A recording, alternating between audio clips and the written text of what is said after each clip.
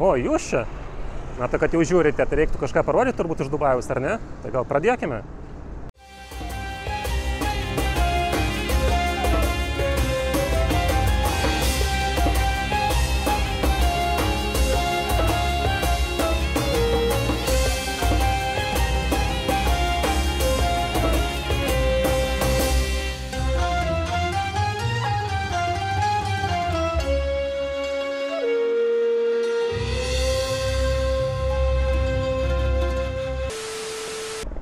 Pradedant norėtųsi labai paneigti vieną populiarų Dubajaus mytą, kad tai yra labai brangus miestas, bet tai yra visiškai netiesa. Pilna vietų yra, kur galite pavalgyti ir po 5 eurus, taip pat galite susirasti daugybę restoranų, kur paliksite ir 1000 eurų sąskaitą. Tai kad Dubajus ar pigus ar brangus bus, viskas priklausys tik nuo jūsų noro ir kišenės dydžio. Bet kad Dubajui pigiai ir kokybiškai galim palisėti, būtent ir bandysiu parodyti šitam vlogė.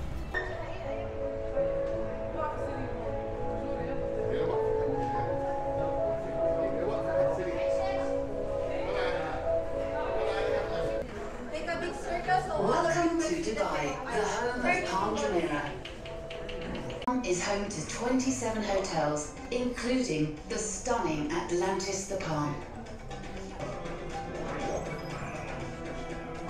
Tourist destinations such as the View at the Palm.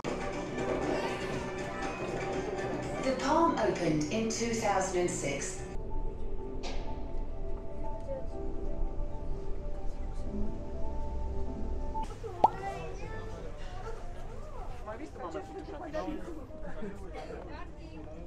Sotto c'è la piscina.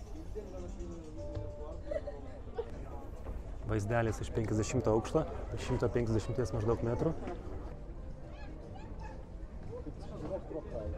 Pačia gražiausia čia yra saulėtekio ir saulėledžio metu, bet šiandien saulė sako, no today, visą dieną buvo apsiniaukę ir gavome tai, ką gavome.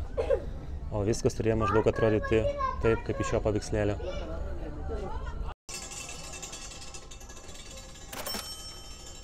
Bilietas pakilti kainavo 25 eurus, galima apžiūrėti 360 laipsnių kampų iš bet kurio rakurso, bet kurią pusę, bet baisiai nepasisekė su oru. Dažniausiai būna giedra, o šiandien kaip tyčia apsiniaukia.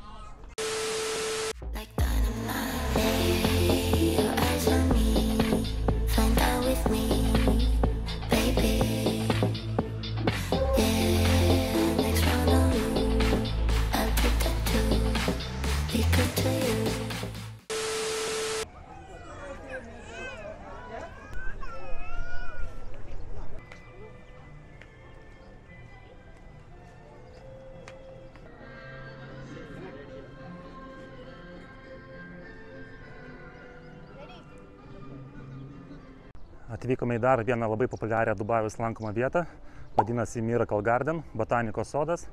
Interne pamačius kainą, kuri yra 19 eurų, pradžioje pasirodė galbūt neverta lankymo, bet kai atvažiuoji čia ir pamatai mastą, koks tai didelis sodas, kiek jis kainavo ir kiek galbūt jo kainuoja išlaikymas, tada supranti, kad tie 19 eurų galbūt nėra jau tokia ir didelė kaina.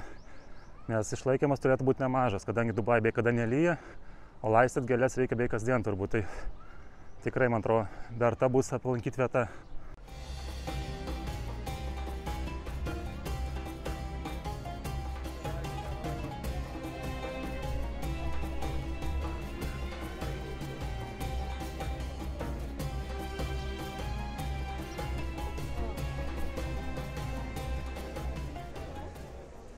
Ko toks nosį nukabinės? Kas atsitiko? Pažiūrėk, kokie draugai laimingi.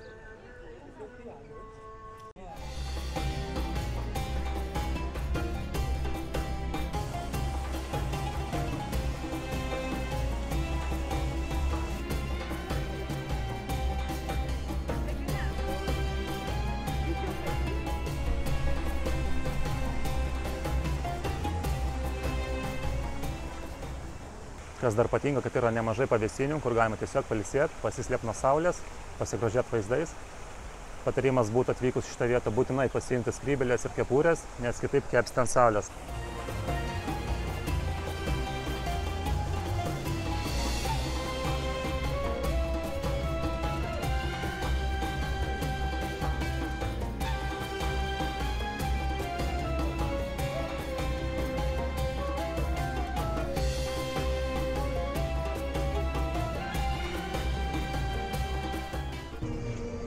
Smurfų namukai, vietiniai gyventojai.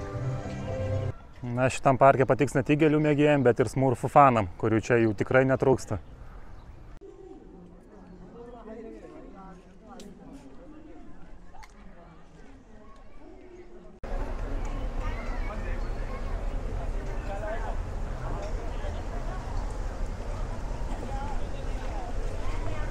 O čia yra viso parko pažyba. Tiesiog didžiulis Airbus A380 sukonstruotas, surinktas ir apsodintas gėlėmis. Keturi varikliai, dviejų aukštų, didžiausias pasaulyje keleivinis lėktuvas.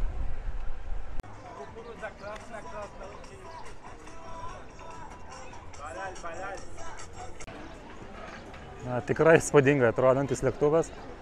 Netgi padarė įjungtų variklių imitaciją, kad atrodytų tikroviškiau. Vienas kažkodėl nedirba, trys varikliai iš keturių dirba. Vienas minusėlis šito parko begalybė žmonių visą laiką kažkam įlindi į kadrą, arba tau kažkas nelenda į kadrą.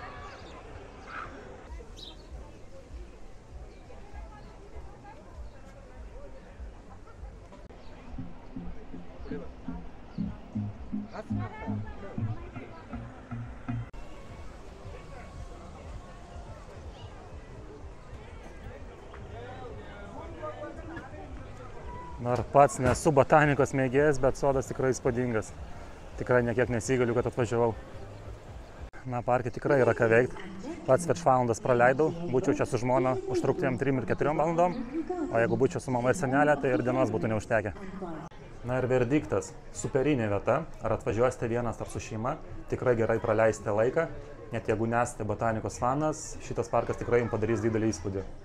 Atvažiavus su šeima čia apskritai galima laisvai praleisti pusdienį, kadangi yra daug soliukų, daug pavėsio, taip pat nemažai kavinių, kur galima nusipirkti maisto, daug ledainių, taip kad pusdienis prabėgs nepastebimai. Bet būtų vienas patarimas, kuris galioja visom turistiniam vietam - atvykti šitą vietą kuo anksčiau, kad netektų grūstis su kitais turistais. O dabar keliaujame į kitą Dubajaus vietą.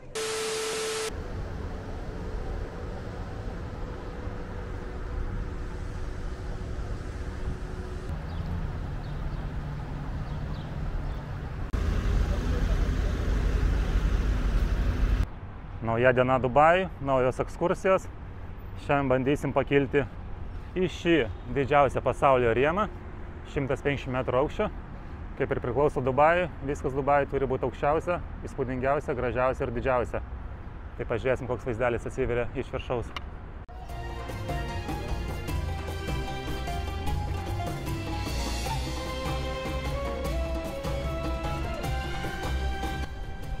Kol sulauksim lifto, matomai teks pastovėti eiliai.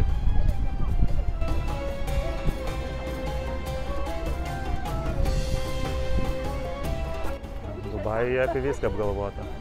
Kadangi nusimato stovėti eilė apie 40 minučių, žmonėm atnešė skiečius, kad nekeptum saulės.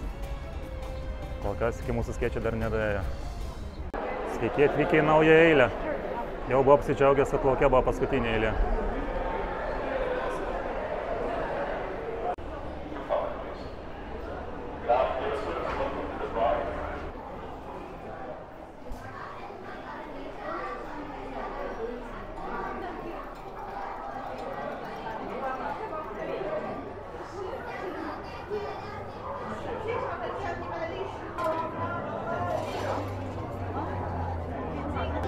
Kartus atstoju eiliai ir galvoju, tai pabaiga. Ne, prašau atsistokit trečią kartą eilę. Tikėkime, jau šį kartą paskutinė bus.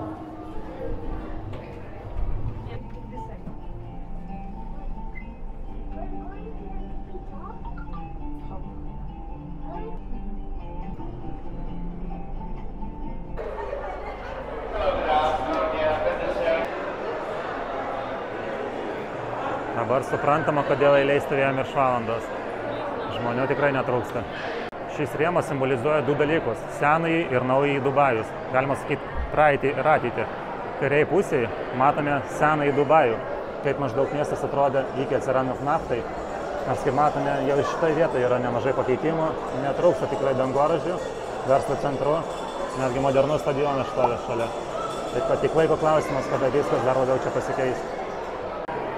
Na, šitoje vietoje galim pamatyti naują Dubajų, ateities Dubajų, kas atsitiko su miestu atradus naftą ir pritraukus užsienio investuotojų pinigus, kurių čia plaukia tiesiog milijardais. Kaip matome, pats miestas yra labai didelis pagal teritoriją ir dar labai daug laisvų plotų. Taip kad dar yra tikrai daug ką statyti ir dar kom nustebinti, ką Dubajus ir daro kiekvienais metais. Ir dar viena įdomi vieta ta, kad kam trūks ekstremo, visą laiką galima pažiūrėti į apačią ir pasivaikščiok stiklu 150 m aukštėje. Nedelnai pradėjo prakaituoti. Na, taip pat reikės atstovėti eilėje, kad ir nusileisti su lifto pačiai. Tai kad tikiuosi jau paskutinė ketvirta eilė ir ekskursija bus pabaigta.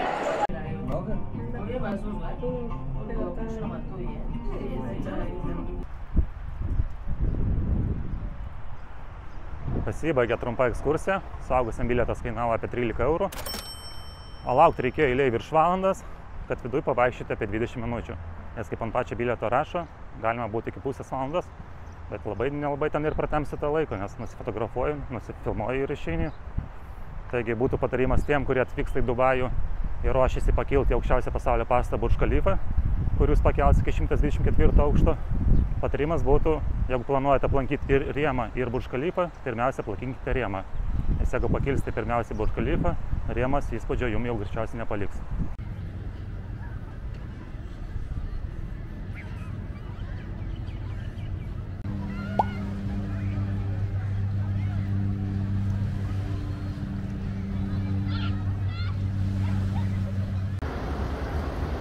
Toksai vaizdelis iš Dubai marinos prieplaukos, iš labai garsaus visame pasaulyje gerai žinomo šeimininio restorano, kuris vadinasi McDonald's.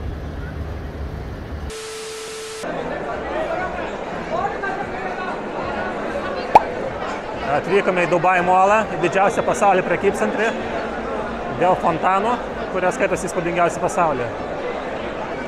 Bet matau, kad kol mes čia praeisim, tai turėsim dar reikaliukų. Aišku, ir vienas didžiausių pasaulyje akvarimų.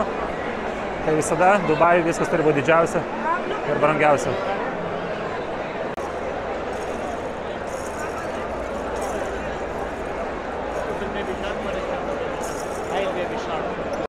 Tai visą laiką Dubajus pasiūlo naujų atrakcijų. Galima paplaukti, pastovėti su žuvim, tokiam kaip kupolė. Dabar nesimato per žuvis, kaip tyčia atplaukė. Bet kažkur plaukia ir rykliukas.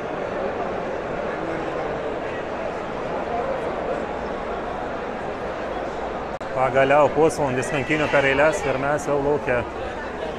Bet pažiūrėkite tiesiog, kiek čia žmonių. Dabar suprantama, kodėl tik veišimas leidžia ne visus norinčius, nes visi norintis tiesiog fiziškai nesutilp šiandien. Toks didelis pastatas, kad į kadrą net netelpa. Aukščiausias pastatas pasaulyje - 828 metrai. Burj Khalifa.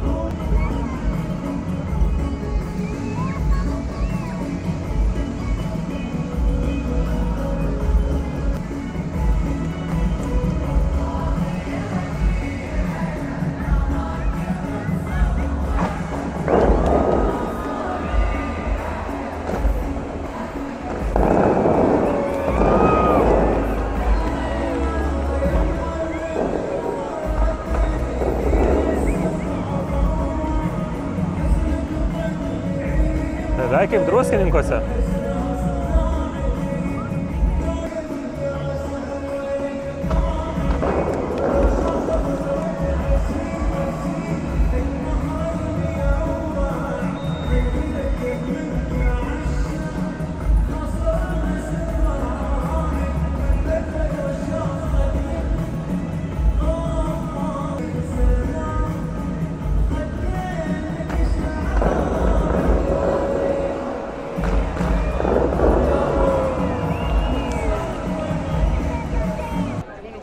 Važiavom valandą iki čia, viduje pusvalandį praleidom eilėse, kad pamatyti 3 minučių šau.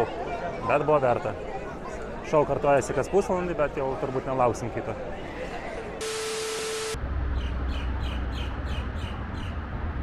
Laukia 33 laipsniai, laukiam transporto, kuris nuveš į dar karštesnį vietą, į dykumą, kur mūsų laukia džipų safaris. Taip kad turėtų būti tikrai įdomu. Tiek mašinų susirinka į dykumą, nei daug, nei mažai, keli šimtai.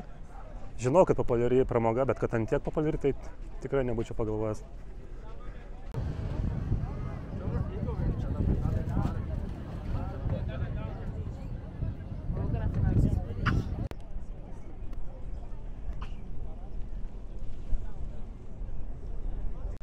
Pagaliau ir mes sulaukėm savo eilės. Ką, važiavimas prasideda.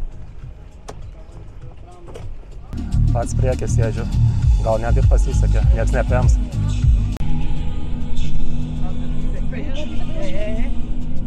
Pasina krato kaip su kateriu per bangas.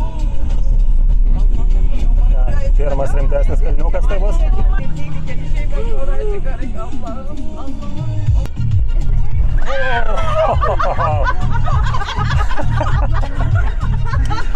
Apsu galva trenkiausi lubas. Çok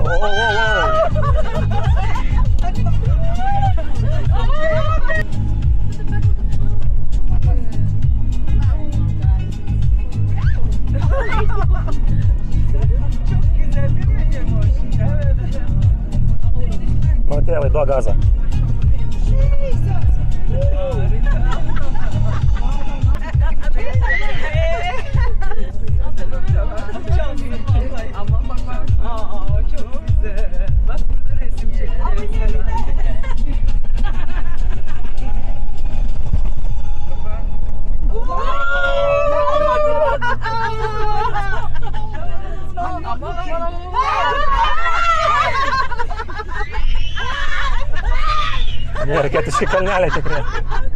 Dar įgarsinimas iš galo labai geras.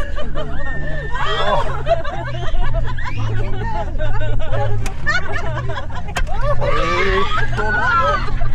Ko, jau užmetė mašiną?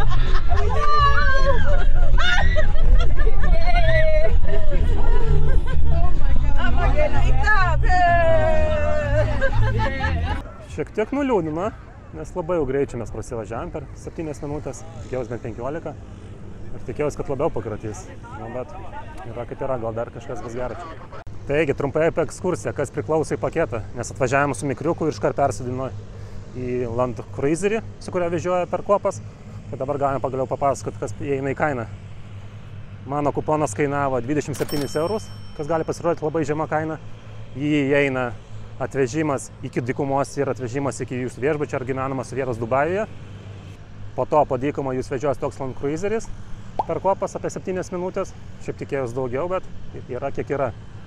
Taip pat įėjo į kainą mano paketo pasivažinėjimas su kupranugario, ant kurio nelipau, nes labai mažiukas. Tai šiaip jau esu bandęs. Ir dar taip pat įeina į kainą pasivažinėjimas su keturačiais 20-25 minutės. Bet duoda važinėti tik tais ratukų. Vaikam gal ir padarytų įspūdį, saugusiam turbūt nelabai. Pats išvažinėjau gal tik 7 minutės ir perleidau kitam. Taip pat įeis į kupono kainą vakarinės šau dalis, kur vėliau pereisim, ir vakarienė. Bet turbūt daugumai kyla klausimas, kodėl vis tiek ganėtinai tokia pigi ekskursija.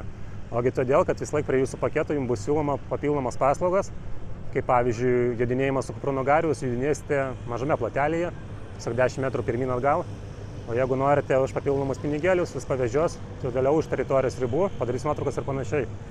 Taip pat, kas liečia keturačius, jums leis už papildomą mokestį išvažiuoti iš šito rato, nes rate važinėti tiesiog neįdomu.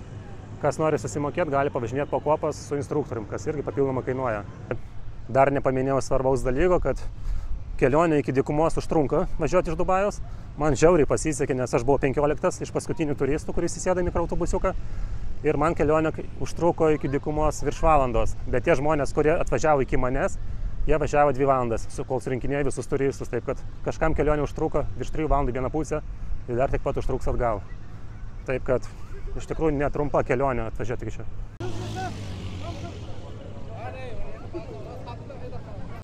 Va ir kainelės galima surasti, kiek kainuoja su keturračiu pavažinėti už teritorijos ribų, tai apie 38 eurų žmogui.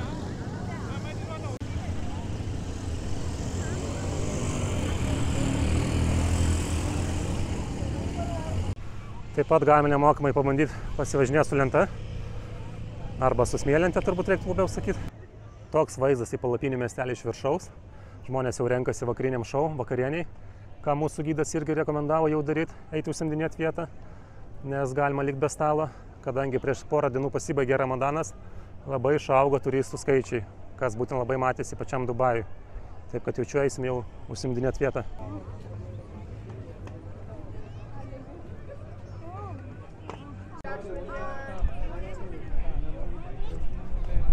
Taip pat, kam labai trūksta Wi-Fi, galime jį nusipirkti. Ganėtinai brangokas. Pagaliau sulaukėm vakarinės dalies, kurias laukiam 2 valandas. Bet taip sutapo, kad pranešėjas pasakė, kad vėl patiekimas bus valgyt. Ir žmonės tiesiog kaip skariai subėgo prie palapinės. Tiesiog šimtai per minutę subėgo. Atrodo, kad pasaulio pabaiga prasidėjo. Įdomiausia tai, kad eilė nepamatysi nei vieno europiečio. Va tiek, va žmonių prisirinko.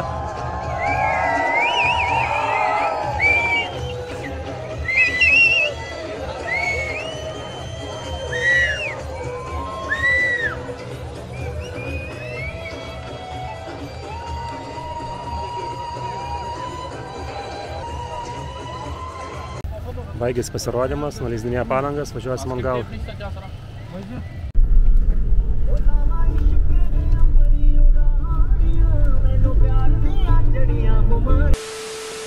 Baigėsi kelionė po Dubajų, grįžau į sostinę, į Abu Dabį, iš kurios ir atskridau iš Europos. Atgal skrisime taip pat iš čia. Mieste nors ir gyvena pusantro milijono gyventojų, bet veikti nelabai čia ir yra ką.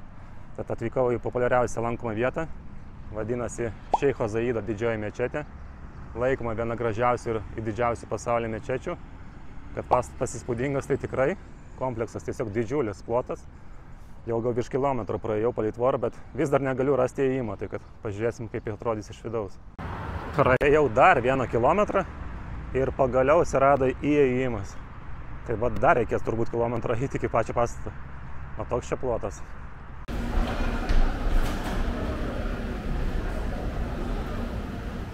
Reikia praeiti apsaugą kaip oro uoste, atėmė mikrofoną, bet kameros netėmė. Įdomi kažkaip čia pas jas logika ta. Jums turbūt būtų įdomu sužinoti, kiek kainavo kelionė į Dubajų. Pradžioje apie lėktuvo bilietus. Iki Junktinių Arabų Emiratų nuskridau su Ryanair ir Vizair oro linijomis. Kadangi vienos kelionės metu mėgstu aplankyti ne vieną miestą ar valstybę, pasirinkau kiek neįprastą maršrutą. Iš Kauno su Ryanair oro linijomis skridau į Slovakijos sostinę Bratislavą, kur kelias valandas praleidau pasivaikščiodamas po senamestį bei po Dunojaus pakrantės. Tada sėdau į autobusą ir atsidūriau Austrijos sostinėje Vienoje, kuri randasi vos už valandos kelią nuo Bratislavos. Vienoje taip pat praleidau pusdienį ir pernakvojęs viešbutėje ryte keliavau į oro uostą, iš kurio jau skridau į Abu Dabį su Vizair oro linijomis. Atgal taip pat skridau iš Abu Dabių į Vieną, iš kurios jau keliavau į Vilnių su Ryanair oro linijomis. Keliavau su tokia kuprinė, kurias pilnai užtenka keliaujant savaitę į šiltus kraštus. Šioje kelionėje praleidau vieną dieną Bratislavos ir Vienos miestuose, taip pat šešias dienas Dubajuje. Bendros kelionės išlaidos buvo apie 650 eurų, kadangi gyvenau pas brolį, už apgyvenimą mokėti neteko. Jeigu gyvenčiau viešbutė, prisidėtų dar apie 300 eurų, tai bendrai gautųsi apie 950 eurų žmogui. Jei patiko šis video apie Dubajų, spaudžiame patinka ir prenumeruoti, o dabar grįžtume pasigrožėti Šeiko Zaido didžiajame čete.